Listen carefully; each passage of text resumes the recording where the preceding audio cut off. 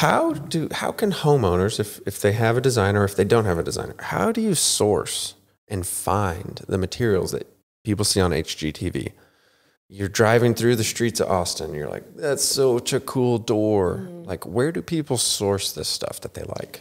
I will say a rever- reverse Google image search is your best friend. So if you have a picture of something or a screenshot or you take a picture, you can put it in the Google image reverse search.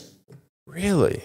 It's pretty awesome. And it, if it's a photo from online, oftentimes it will take you to the source. Yeah, or Pinterest most of the time. Yeah. And then you can find out where the tile or the whatever is from that way. We use that tool quite a bit.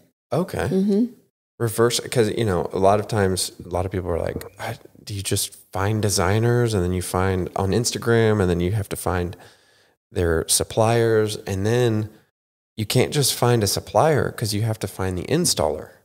Because a lot of times, people's like on, on high end stuff for sure, Mm-hmm.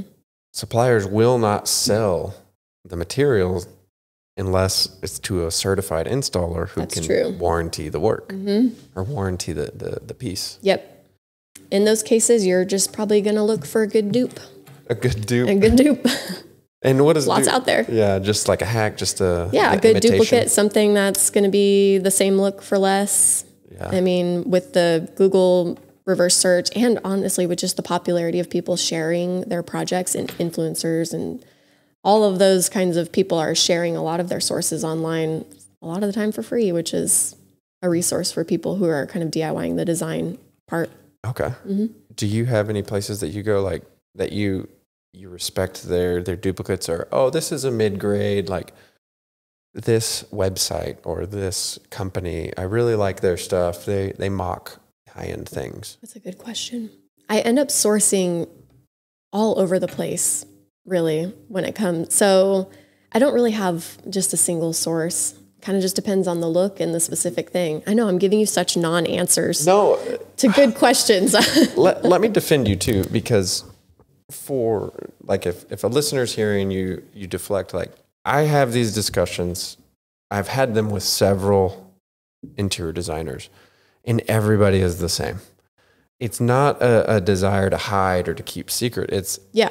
one of the value adds of hiring a de- an interior designer is there's tons of legwork Yes. a lot of the design, a lot of what you see on HGTV, a lot of like when you go to a house that is, it's just, some of it is truly one of a kind. Mhm. Some of it is reclaimed. Some of it is hours and hours at antique malls.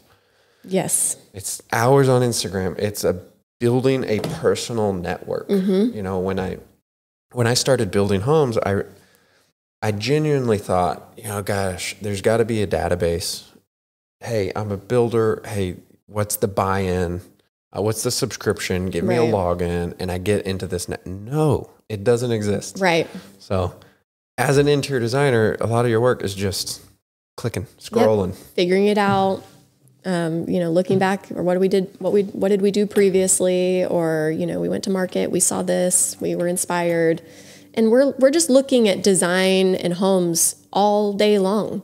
So we're just seeing a lot, Mhm. and I think that just you know, that's pretty. Um, it's worth something for sure.